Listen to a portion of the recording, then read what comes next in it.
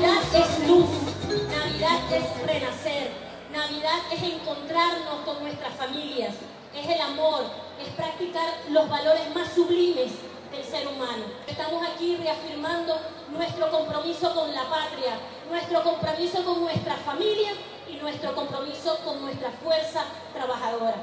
Para ustedes, feliz Navidad.